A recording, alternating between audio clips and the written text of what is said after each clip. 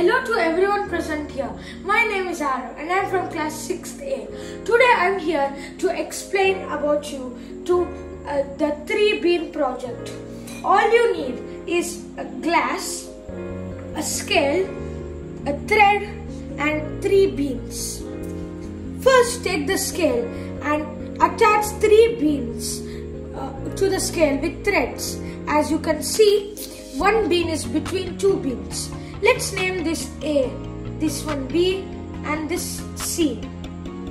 So put this in the glass and now take a cup of water and pour it into the glass.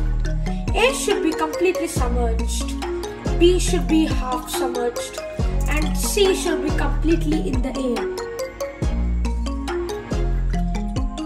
Leave it for a few days. After after the few days, we will see which seeds will germinate.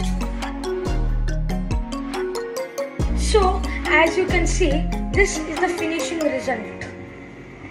The middle bean has sprouted while the other two have not.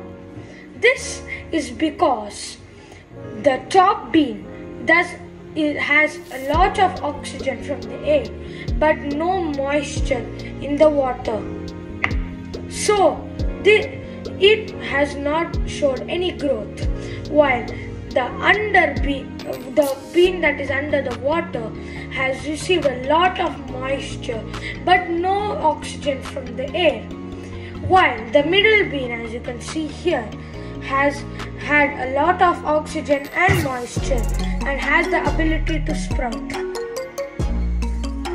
So, the conclusion of this project is that a seed needs both moisture and oxygen to sprout or grow into a plant.